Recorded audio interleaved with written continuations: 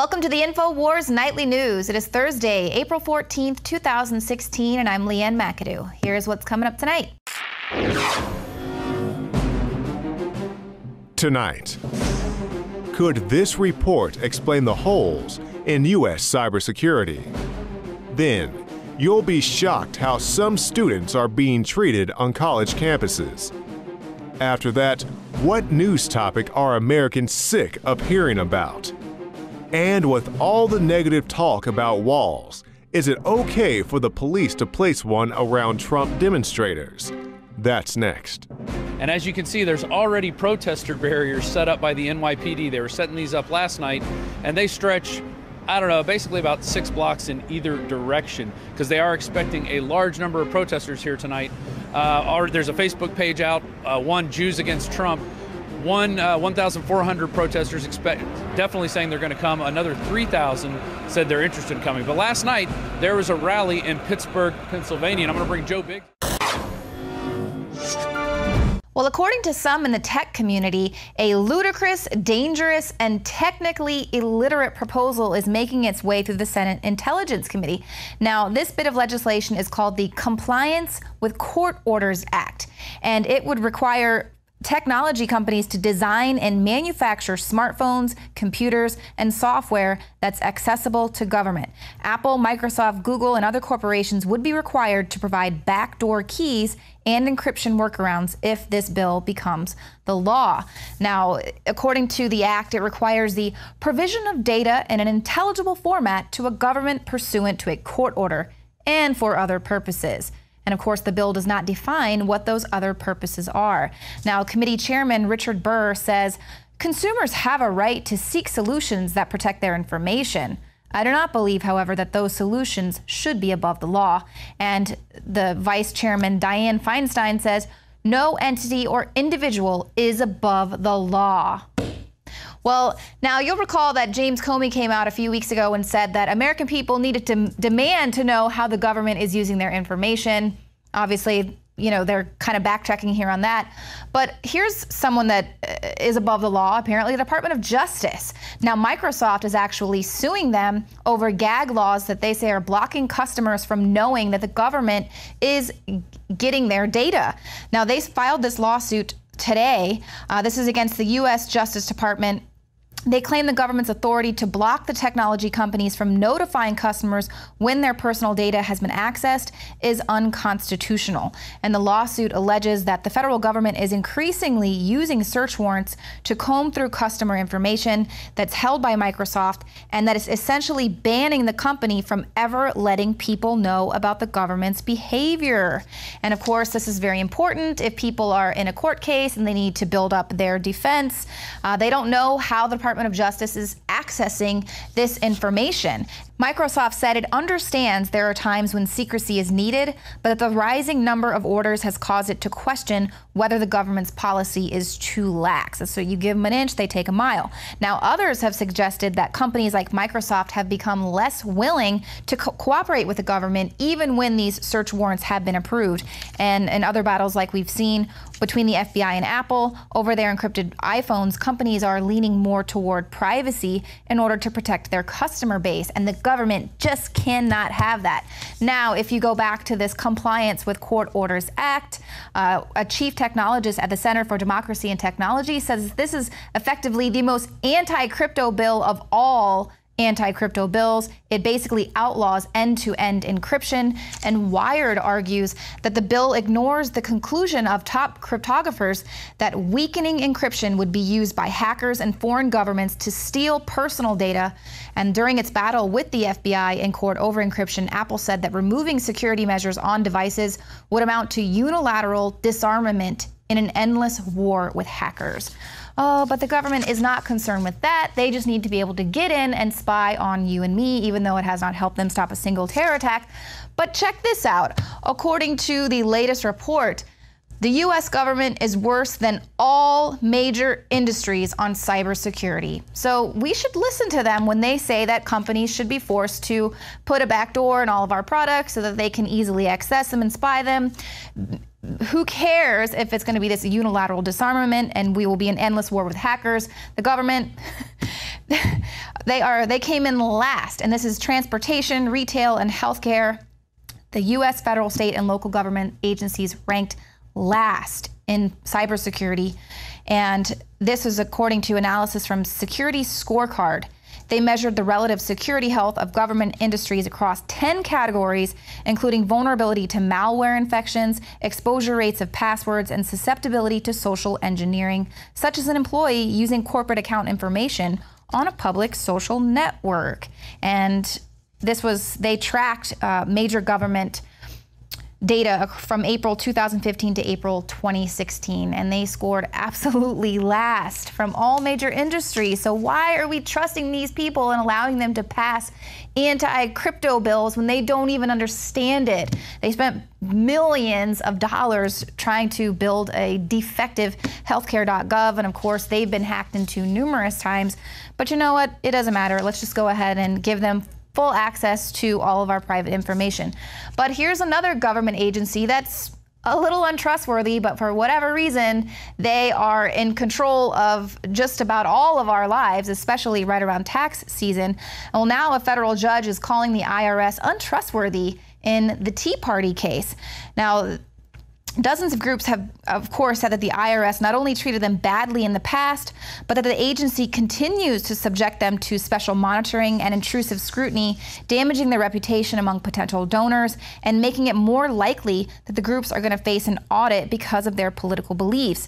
But the IRS insists it has retrained its employees and instructed managers to behave better. But the panel of judges on the U.S. Circuit Court of Appeals for the District of Columbia did not seem convinced, and the judge said it's hard to find the IRS to be an agency we can trust. And now the lawyer for the IRS at one point acknowledged that there were still potential problems with the way the agency monitors cases going forward, but insists that the initial targeting at the point groups uh, applying for the nonprofit status, that initial targeting, that's ended. I mean, there might still be some potential problems moving forward, you know, but they've trained them, you know, everything's fine. Just look away and you know, there's no need to revise the tax system. Everything's working. It's not a bloated government. Now, one company that is finally speaking out against this administration and its bullies within the administration is a shoe company here that actually makes a small percentage, mind you, of its shoes here in America. This is New Balance. Now, they are speaking out against the Trans Pacific Partnership. The Boston Globe is reporting that the U.S. based shoe manufacturer New Balance has come out hard against the TPP, and now we know why. They say New Balance officials were told by the Department of Defense that they'd give them serious consideration for a contract to outfit recruits with athletic shoes, but no order has been placed, and New Balance officials say the Pentagon is intentionally delaying any purchases. And so now New Balance is reviving its fight against the trade deal uh, which would in part gradually phase out tariffs on shoes made in Vietnam. A loss of those tariffs would make imports cheaper and jeopardize its factory jobs in New England.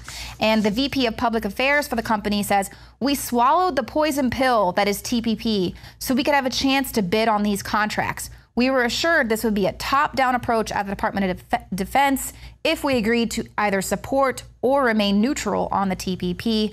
But of course, now they see the chances of the Department of Defense buying shoes that are made in the USA are slim to none while Obama is president. And if this is just a shoe company speaking out, imagine all of the other corporations that are being silenced by the Obama administration in order to pass through the TPP other companies that can see how detrimental this is going to be to American businesses, what remains of America of the American industry, um, they're not speaking out. Possibly they've also been promised a little cut of the deal. So this is very interesting, and I hope that we see some other American corporations speaking out, uh, letting their conscience get the better of them.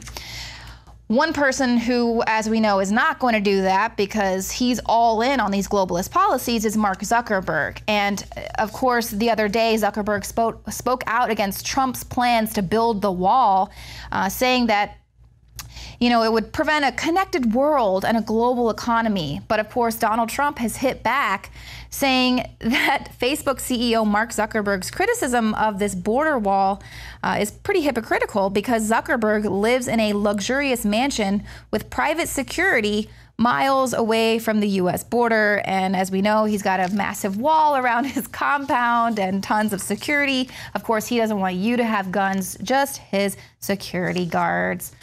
Oh, Zuckerberg. Now, the University of Wisconsin is just the latest university who is now singling out white students for some re education. And this was um, a special workshop hosted on Tuesday for the purpose of getting white students to acknowledge and confront their own white privilege. And the, the workshop is called The Privilege of Whiteness and it's designed for white people to reflect on and name the ways their privilege impacts their beliefs and behaviors by gaining the skills to identify the historical roots of white privilege and how it manifests today. Oh, I'm exhausted just reading that sentence. But that's not the only university. A business class at Purdue University is actually teaching students the phrase, America is a melting pot is a microaggression. Yep, that's right. We that's a microaggression. America can't be a melting pot. Additional microaggressions include where are you from? There is only one race, the human race. Everyone can succeed in society if they work hard enough. And I believe the most qualified person should get the job. Who knew? Anita Sarkeesian was right. Everything's racist, everything's sexist, everything's homophobic, and we've got to point it all out. Now, the Sanders supporters, the Sanders camp, they've actually tr- triggered the Clinton camp a very popular Twitter account uh, in support of Bernie Sanders tweeted out how people need to stop uh, voting in corporate Democratic whores. Well, oh my God, super sexist. You can't call Hillary Clinton a corporate whore. And she demanded that Bernie Sanders disavow his supporters' comments on Twitter. But you know what? Let's go to our trusty little uh, urban dictionary back here. This is, if you want to know what the kids are into these days, go to Urban Dictionary. And you can see there the definition for corporate whore written in about 2008 includes Hillary, Diane, Rodham Clinton. So I don't know. You're that's a that's a fax right there, right? Uh, straight out of the Urban Dictionary. And the corporate media whores have descended upon New York. More than 700 of them will be covering tonight's Democratic debate. Interesting to see if this topic will be brought up. But you know what? What's the point? We have all now come to the realization that the entire system is rigged. Now, Brian Tuohy joined the Alex Jones show today to talk about the sports organizations that are rigging their own games for their own benefit, much like our political system. The other way I like to look at a potential fix is the league fixing their own games. And that's something a lot of people, and that's why I get labeled a conspiracy theorist for. That's what a lot of people don't necessarily consider is the fact that the leagues can use the same apparatus that organized crime is used to fix games.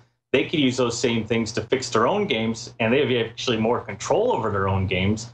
And the fact of the matter is, they have more to gain from fixing their own games because that's how they make their money is through fan interest and television ratings. And if they fix games to make them exciting, and I'm not saying every game is fixed, but just certain tweaks here and there to manipulate their own league, well, then they're going to make more profit and it's going to benefit everybody involved from the players, the coaches, the owners, everyone. Wow, that's fascinating. I'd never thought about that. I mean, we always, as you point out, we always think about organized crime, uh, leaning on people, or basically, uh, you know, threatening them or incentivizing them to throw a game so that they can make a lot of money off the gambling. I had never really thought about the leagues fixing it for them themselves to make it more entertaining. But of course, that's yet another parallel to politics. it's absolutely amazing. You know, you have people who are voting with what they believe, and you know, people can say that's right, that's wrong. You should vote for this candidate, not that candidate. But when the fact of the matter is, when you have your vote and you think it counts for a delegate, for example, towards Donald Trump, and the Republican Party is coming out and saying, well, maybe it's not going to, we're going to spin it to somebody else, whoever we deem necessary. Well, then, you know, it makes you feel as a voter, does your vote count? Mm-hmm. And maybe that's the grand scheme thing that they're trying to do is trying to show you that maybe your vote doesn't count. Yeah. And maybe yeah. they do just really control everything. And that's, you know, as an American, that should be a really frightening situation. Whether you want Trump in or you don't want Trump in, the fact of the matter that this is occurring should make you really second guess everything. And I think that may be part of the game maybe trying to get people so disillusioned with the system that they don't show up. Because I believe that if they have enough people show up, I, I believe that they can shave points just like they do in sport sporting events. They can shave points at the poll. They can shave points in terms of delegate selection and that sort of thing. Uh, they can they can uh, you know stuff the ballot box or they can uh, manipulate the voting machines to shave points. But I think if you come in with an overwhelming, overwhelming uh, number of people, they will pull back and try to rig the system at the next level instead of trying to do it in the election. So I think part of this exposure is to just discourage people from even showing up and voting. I, I think that's a real key part of this. And with 700 reporters in attendance for tonight's Democratic debate, we know what's going to be in the news for the foreseeable future. Well, Jakari Jackson wanted to find out what are people here in Austin, Texas sick and tired of hearing about? We're out here in the streets of Austin to ask people, with all the news that's going on, what news story are they most tired of hearing about? Hey, how you doing today, ladies? We're fine. Good. We're just asking people, what news story are you most tired of hearing about? Donald Trump. Donald Trump. Everybody? Yes. Donald Trump. All I hear uh-huh. about. We're asking people what news story they're most tired of hearing about. Trump. Donald Trump. Donald Trump. I would say Kardashians, Zika, and Donald Trump. And what else? I think that's it. Those three. the unholy trinity. The election. The election. It's yeah, it's bad. I'm right there with you. I haven't been on Facebook in weeks, mostly because I got a new baby. But I just stay away from Facebook. I stay away from all of it. Honestly, I'm not even really listening to Alex Jones anymore because I can't handle listening to any more political stuff. Is there anything that we should be talking about instead? Anything you think is more important? Um, I just think finding a great leader for our country is really important right now. And um, just all the swirling around negative things about candidates, I think needs to stop. Is there anything that we should be talking about instead of Donald Trump? Hmm. I think, what are we going to do with the homeless people? The panicked elite are buying up underground bunkers and or fleeing to parts unknown as all indications point towards a collapse that will in the words of economist Peter Schiff be the earthquake that follows the 2008 tremor. The Chicago Tribune reported that about 3,000 individuals with net assets of $1 million or more left Chicago in the last year alone due to the exploding climate of unrest growing in the Union stockyards. The writing is on the wall. President Obama, in concert with his puppet master George Soros, have been turning up the heat on deteriorating conditions resulting from the United States and the EU's strategic collapse of the global economy for the last seven years. So if somebody wants to build a coal-powered plant, they can.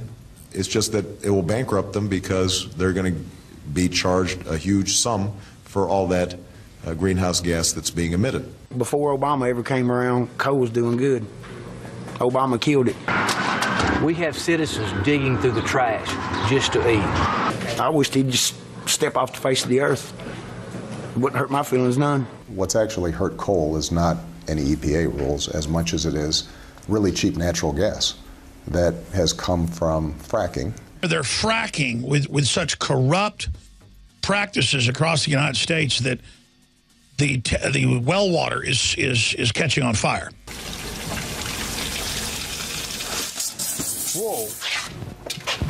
Soros signals Argentina's shale is biggest place to be. Soros doubled his stake in state-owned oil company in Argentina, while for the last seven years spending tens of millions of dollars to lobby to shut down shale production in the U.S. by wildcat small companies. And I'm not saying shale fracking is good overall. I'm not saying there aren't problems, but most of it's financed by Soros and Saudi Arabia, who don't want us to have our own oil. So a coal plant in Mexico that's totally dirty is okay, but a coal plant in Texas that's clean is not okay. And most of these uh, frackers and, and oil sands people can't uh, can't break even uh, unless oil's over eighty dollars or at least over fifty five. I right. think it's going to ten to twenty in the next next several years. So this is their what they're doing is they're pumping their existing wells to the max to create cash flow because their wells are, are is not it's not expensive to pump. It's expensive to find the darn things and drill. And they were only able to do that with the cheapest junk bonds in history because of quantitative easing and artificial stimulus and high oil prices. So, so that's the next thing to hit the United States.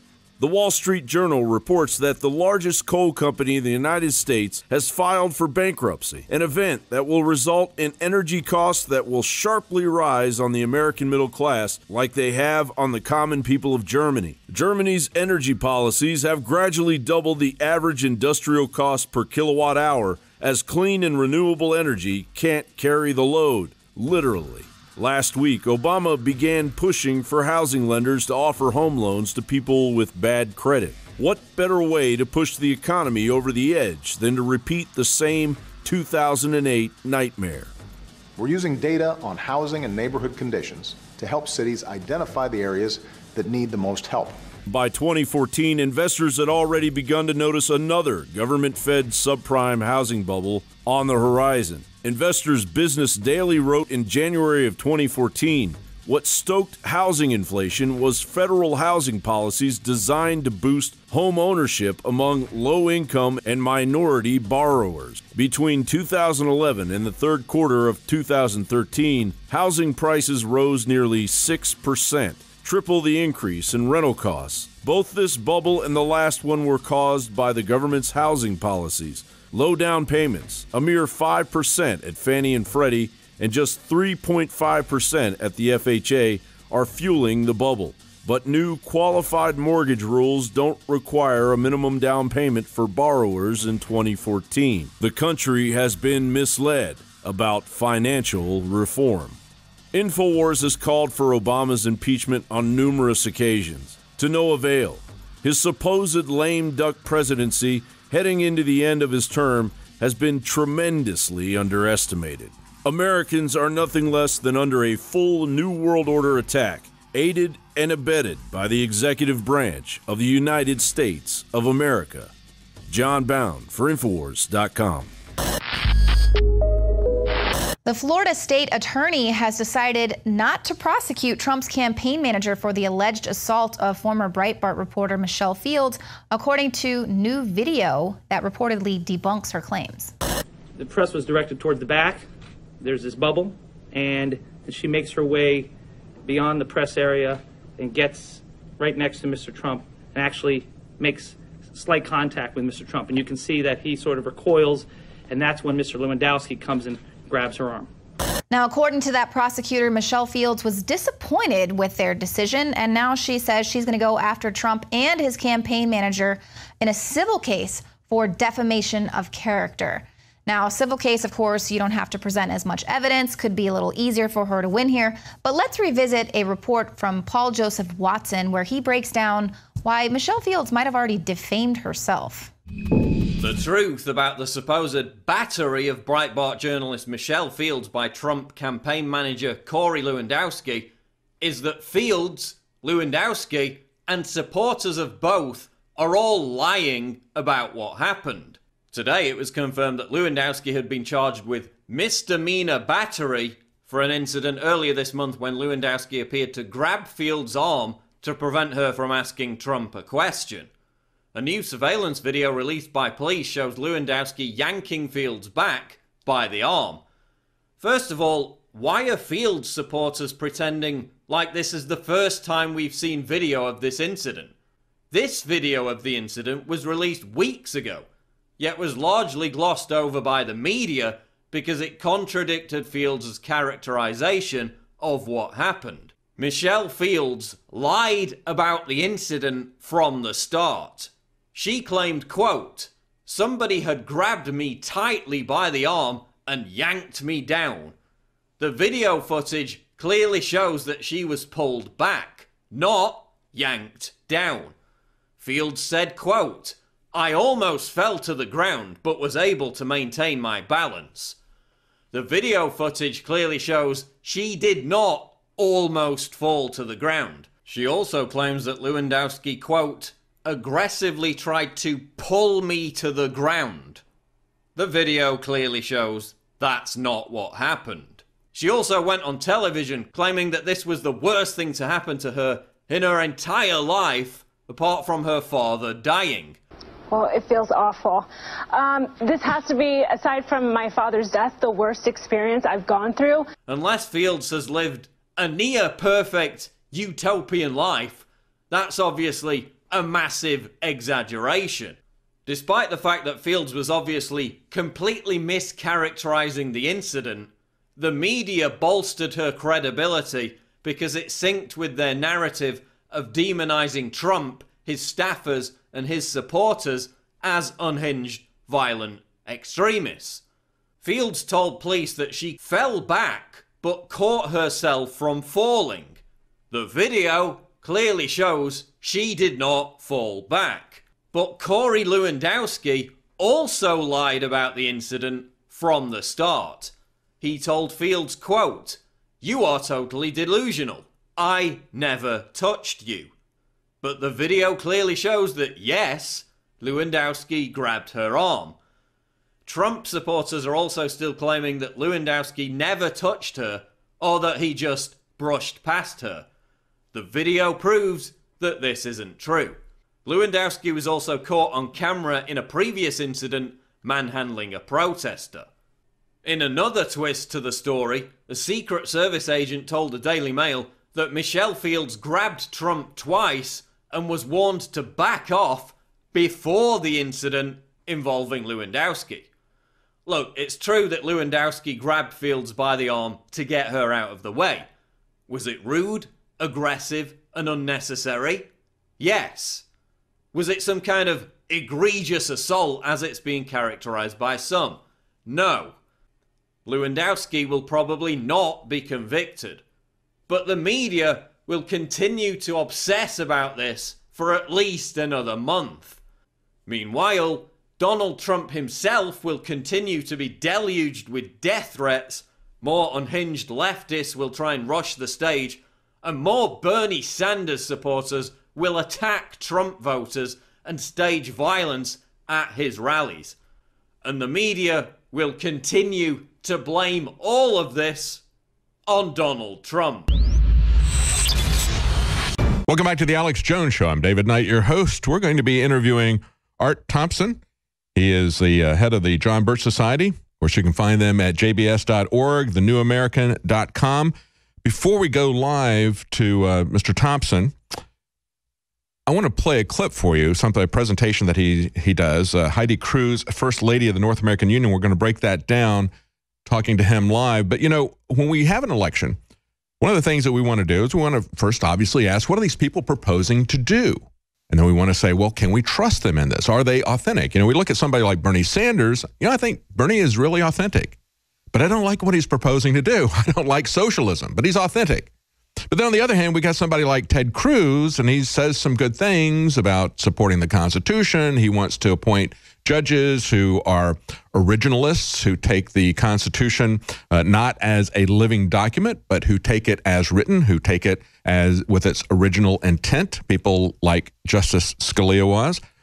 He says many things like that. He says he supports the Second Amendment, so forth and so on. But then we see that he's changed his position in some very uncomfortable ways when it comes to things like these trade partnerships and then voting first to shut down the constitutional process to ratify these trade treaties, the transatlantic, the trans Pacific Partnership, to shut down the constitutional process, which says 67% of the senators will approve this. No, no, they changed it to a simple majority. They shut down any amendments. They shut down any debating. They shut down any filibustering of this. They said, once we give this secretly negotiated agreement to you, then it's going to be run through in a certain period of time. If you don't bring it to the floor, it's going to go there automatically. You're not going to be able to talk about it or amend it. It's just going to be there. Okay. Now, he voted for that process.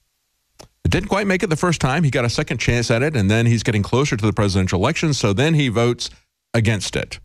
Okay. So who are these people? I want to play this clip from uh, Arthur Thompson about uh, Heidi Cruz, and then we'll talk to him uh, directly. Let's run that clip. And yet, these were the recommendations out of this committee of the Council on Foreign Relations, which lists Heidi Cruz as one of those task force members. And in, it says here, it's got an asterisk back uh, by her name, and the asterisk says this The individual has endorsed the report and submitted an additional or descending view.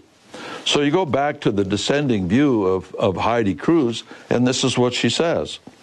I support the task force report and its recommendations aimed at building a safer and more prosperous North America. And then she goes on and says that, that she is just concerned that we maintain the ability of these banks to be able to run the, the banking regulations and that sort of thing instead of making it a state thing. Well, that's no surprise because at the same time, Heidi Cruz had Morgan uh, connections and then subsequently went on and became part of the Goldman Sachs banking uh, empire. And incidentally, her husband got a very sweetheart deal from Goldman Sachs for his campaign that he just forgot to mention to uh, anybody in his public disclosure.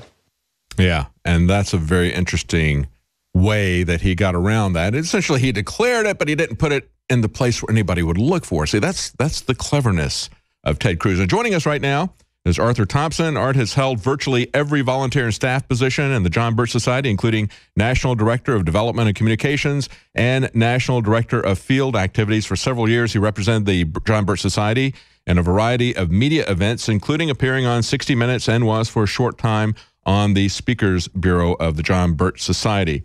Thank you so much for joining us, Mr. Thompson. Uh, when I look at that particular declaration of Ted Cruz, to me, that is the kind of lawyerly tricks that I seem to come to expect from from Ted Cruz. The fact that he would file it in the wrong place and put it there and wait until somebody had discovered it and then say, "Oh, no, we actually did file it. We just didn't tell the Federal Elections Commission about this loan because it was very important for him at the time to distance himself from Goldman Sachs. People had pointed out some of these connections uh, to uh, that his wife had with Goldman Sachs, the Council on Foreign Relations, and and he called them a pit of vipers. But then uh, he was taking uh, a large donation from that pit of vipers when he was running for for Senate. Well, that's true. Uh, before we get into it too much, though, uh, I'd like to point out that we tell people about all the candidates. Yes. Uh, we don't take positions as to who to vote for and, and that sort of thing. We stay out of partisan politics, but we will have things like uh, articles on, on Trump that are also revealing, uh, just asking questions, bringing out facts. We want people to understand what's going on before they go into the voting booth. Absolutely. Uh, and so we get hit from all sides when we we bring these things out, whether it's Trump people or Cruz people or whomever it may be. And that's the key thing, too. I think people need to understand, you know, when I looked at Donald Trump, I, at the very beginning, I was uh, very much opposed to Donald Trump because what I saw happening was a cult of personality like I had seen with Barack Obama.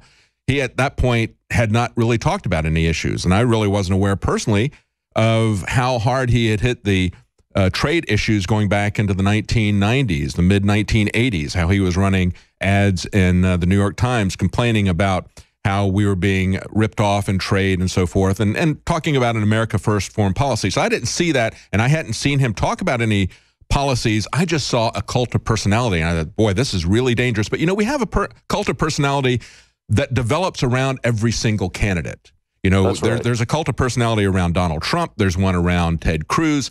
And we need to recognize that. We need to not become a part of that. And we need to pull back and say, where do they stand on the issues? And now that we're into the campaign this long, we can understand where they are on the issues. But then there's also the issue of who these people are. Are they authentic?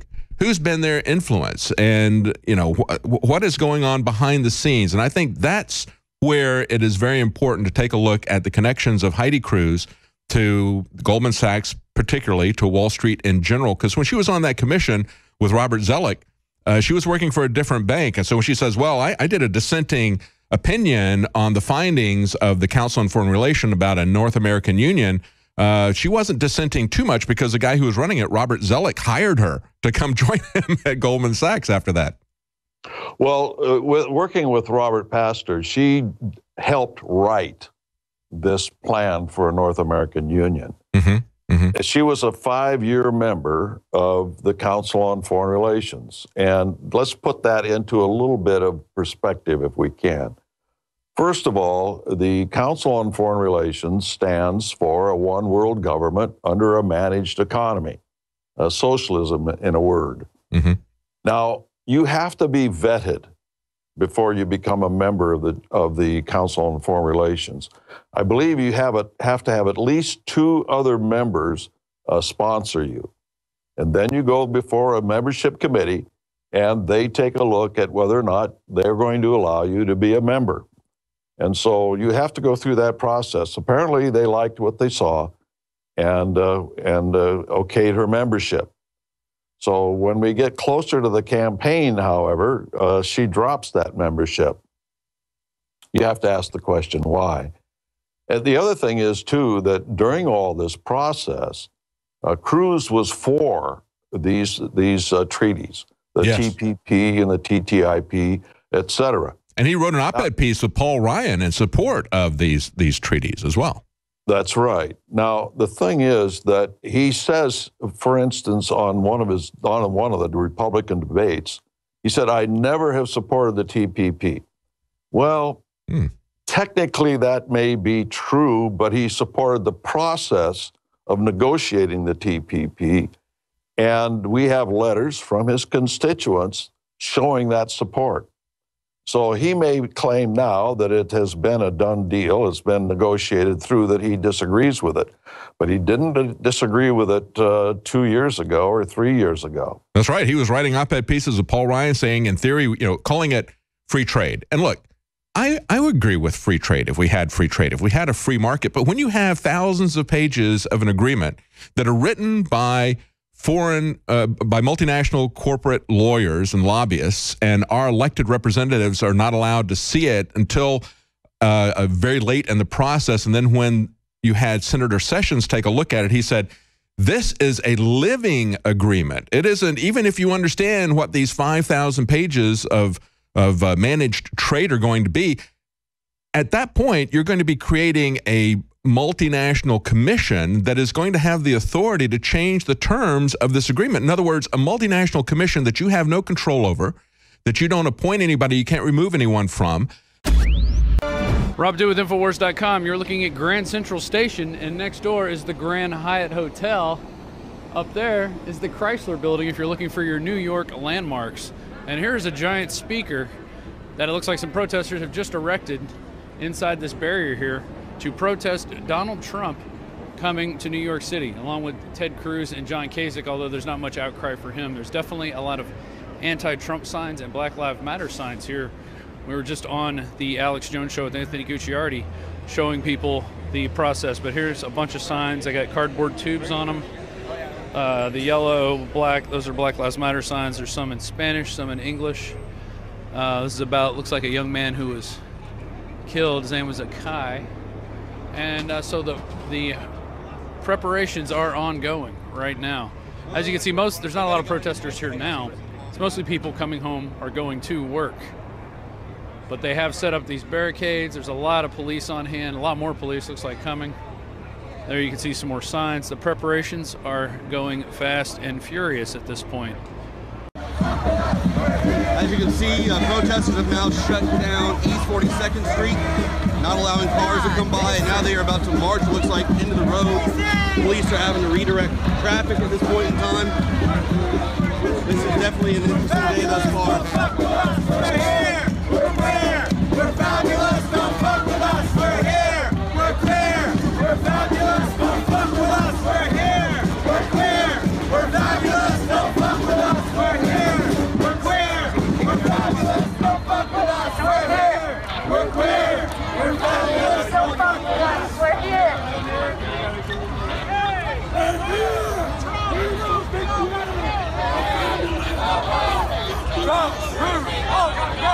As you can see, they're trying to move their uh, all the people further into the road in a major intersection at East 42nd Street and Lexington Avenue in downtown New York City.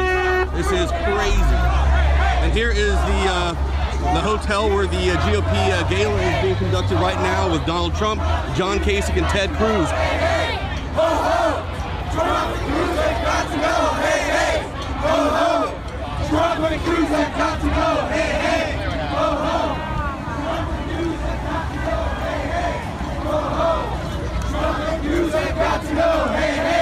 ho ho! Trump and Cruz have got to go, hey hey! Ho ho! Trump and Cruz have got to go! So now I'm standing in the middle of a major intersection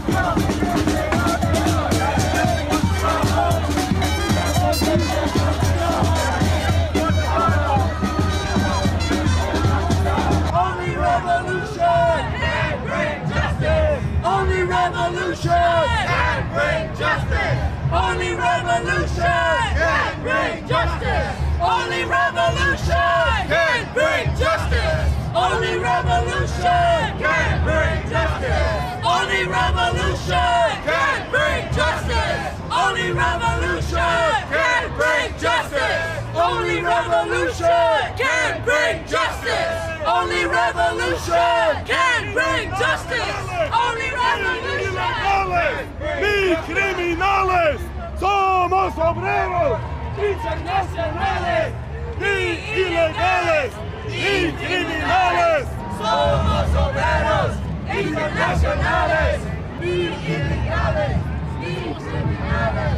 Somos obreros internacionales. I'm on the right side. Everybody is wrong. Trump is number one. Trump is number one. Trump is number one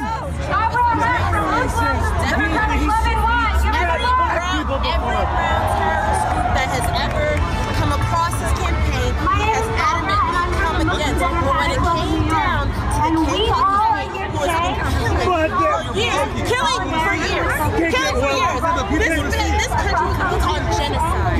This is a long, long conversation. How? It's not it's not Conversation to it. Yes, they They're not different. different. They're not they're oh different. They don't want to. They don't kill anyone. They're just you know. They have a and he's That's it. That is different. It's interesting. And they're, not, they're, they're, they're. What I'm, what I'm telling you right now is that when white supremacy and white privilege realizes what it's privileged. I'm not privileged at all. I understand what you're saying, but here's What's the matter with whites being on top? when when Donald says Donald says this, America is great, make America great Well, it's great. When a country is built on genocide, when a country is oh, the Indians, the Indians were here That was, and they got sick. Uh, they got sick, and that wasn't that wasn't like you on want to purpose. you want to open up history book and learn learn The again. Indians got sick on purpose. Trump's the best. Trump, Trump, Trump, Trump. We are here today Trump, together. Trump, So you, Trump, New York, we want the Get on board. Get on board with Trump now. Oh, you guys, you guys, you need to get on board with Trump. What, man? Come on. What are you? Who are you voting for? Bernie Sanders. Why? You're so oh, okay. So you want to go in my bank account and take all my money away? Yeah. Yeah. Yes. Why? Why? Because we hate your guts. What? What did I do? This. What did I do? This. I'm trying to be friends with you guys. Yeah. But we hate you. My stepdad hates me. you said. My stepdad hates me. I'm your stepdad. Don't kill me. I'm not your mom. My stepdad hates me. And I hate myself. And I love Donald Trump. Donald Trump. Donald Trump. Donald Trump. Donald Trump. Donald Trump. Get on board.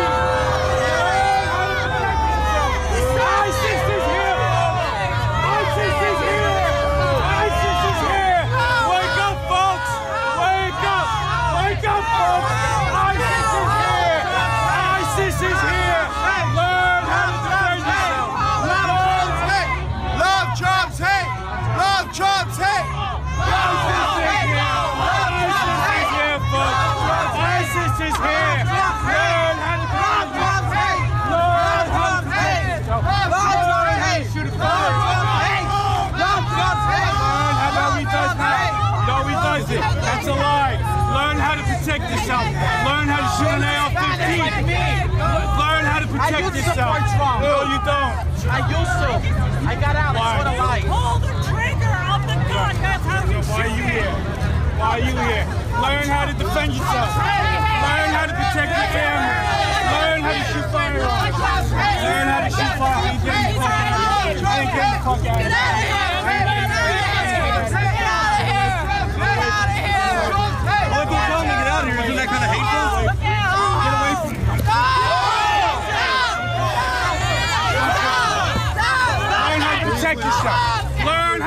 yourself. Learn how to shoot an AR-15. Learn how to protect yourself. Get the fuck away from me. Learn how to shoot- What's up? Learn how to shoot an AR-15. No, no, leave him alone. No, learn how to shoot an AR-15. Hey, stop it. Stop pushing. Get the fuck away from me. Get away from me. I ain't fucking leaving. Learn how to protect yourself. Learn how to shoot an AR-15. Learn how to protect yourself. That's all you guys got. That's all you guys got. That's all you guys got. You ain't got shit. Why you ain't got shit? You ain't got shit.